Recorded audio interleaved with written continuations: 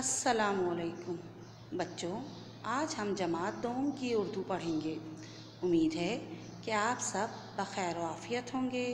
बच्चों, जैसा कि आपको मालूम है कि हमें एक जगह से दूसरी जगह जाने के लिए किसी न किसी सवारी की ज़रूरत पड़ती है। जैसे करीब के लिए रक्षा टैक्सी, स्कूटर वग़ैरह और एक शहर से दूसरे शहर या दूसरे मुल्क जाने के लिए बस, रेल और जहाज़ की ज़रूरत पड़ती है। इनके अलग अलग स्टॉप या स्टेशन या अड्डे होते हैं, जैसे बस अड्डा, हवाई अड्डा और रेलवे स्टेशन वगैरह। बच्चों, आज हमारे सबक का उनवान है कराची रेलवे स्टेशन। सफ़ा नंबर 101 खोलिए और मेरे साथ बुलंद ख्वानी कीजिए। बच्चों, रेलवे स्टेशन कुछ बच्चों ने देखा होगा, कुछ ने नहीं देखा होगा। तो रेल एक बहुत लंबी सी गाड़ी होती है जिसमें मुख्तलिफ़ डब्बे होते हैं और लोहे के पहिए होते हैं। और वो सिटी, उसकी आवाज़ उसकी आती है और छुक छुक छुक छुक करके चलती है। तो ये बहुत ही अच्छा लगता है जब बच्चे इसकी नज़में और इसके बारे में पढ़ते हैं। चलें, आज हम इस सबक को पढ़ते हैं। रशीद अपने अब्बू को पहली बार कराची रेलवे स्टेशन छोड़ने गया। अब्बू कराची से लाहौर जा रहे थे रशीद और उसकी अम्मी अब्बू को रेलवे स्टेशन अलविदा कहने गए मतलब खुदा हाफिज। सबसे पहले कराची रेलवे स्टेशन तक का रक्षा किया, अब्बू का संदूक और बैग रक्शे में रखा।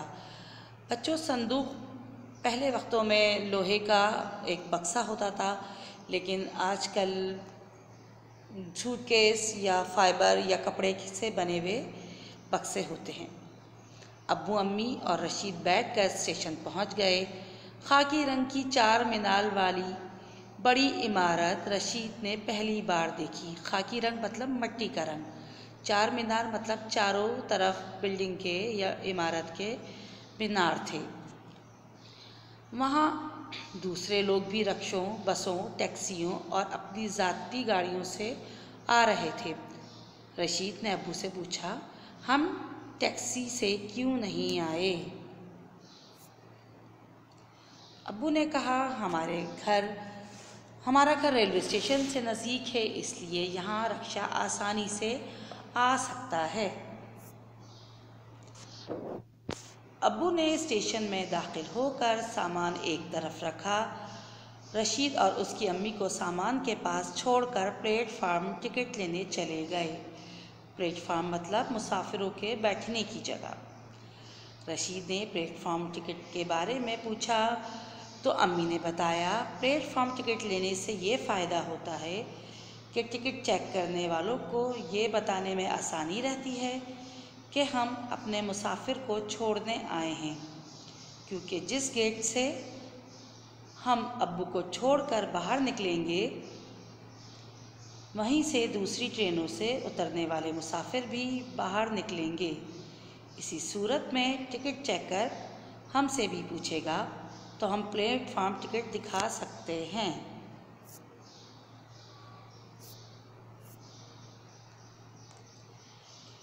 इतनी देर में अबू प्लेटफॉर्म टिकट लेकर आ चुके थे। उन्होंने कुली को सामान उठाने के लिए बुलाया। कुली मतलब सामान उठाने वाला। अक्सर आपने देखा होगा, लाल रंग के या ऑरेंज कलर के कुर्ते पहने हुए होते हैं और वो सामान उठाते हैं। कुली सामान उठाकर उनके आगे आ चलने लगा। रशीद पहले, रशीद मियाँ एक पुल पर चढ़े, पुल के नीचे उन्हें कई रेलगाड़ियाँ खड़ी हुई नज़र आईं। इतनी सारी ट्रेनें देखकर उन्हें बहुत हैरत हुई। पुल से उतरकर वो प्लेटफार्म पर पहुँचे, जहाँ लाहौर जाने वाली रेलगाड़ी खड़ी थी। कुली ने सामान अबू के डब्बे में ले जाकर रख दिया। ट्रेन चलने में थोड़ा वक्त था, इसलिए रशीद मियाँ खिड़की के पास बैठकर बाहर का नज़ारा देखने लगे। लोग अपना सामान उठाए जल्दी जल्दी अपने अपने डब्बे तलाश कर रहे थे। ये डब्बे जो हैं, काफ़ी बड़े होते हैं, इसके अंदर सीट्स लगी होती हैं और इसके अलावा बर्तें होती हैं जिसको, जिस पर लोग आराम करते हैं, सो भी जाते हैं और लेट भी जाते हैं। स्टेशन पर चाय वाले, अखबार वाले, पकौड़े वाले और मुख्तलिफ़ चीज़ों वाले थे। वहाँ किताबों और खाने पीने के स्टॉल भी लगे हुए थे। स्टॉल का मतलब आर्जी दुकानें, जो वक्ती तौर पर होती हैं। दूसरे प्लेटफॉर्म से एक गाड़ी रवाना हो रही थी और उसमें सवार मुसाफिरों को उनके रिश्तेदार हाथ हिलाकर अलविदा कह रहे थे। थोड़ी ही देर बाद ट्रेन चलने का वक्त हो गया। ट्रेन ने सीटी बजाई। सीटी बजाने का मतलब होता है कि अब ट्रेन चलने के लिए तैयार है। रशीद और उसकी अम्मी ट्रेन से उतर गए और ट्रेन धुआँ उड़ाती, सीटी बजाती, अपनी मंजिल की जानब रवाना हो गई। रशीद और उसकी अम्मी ने भी हाथ हिलाकर अब्बू को अलविदा कहा और फिर रशीद और उसकी अम्मी वापस आ गए। तो बच्चों, उम्मीद है आपको ये सबक पढ़कर अच्छा लगा होगा और आपने इससे बहुत कुछ सीखा होगा। और आप भी अपने घर वालों के साथ कराची रेलवे स्टेशन जाके ज़रूर देखिए। घर का काम, तमाम सबक की बुलंद कीजिए और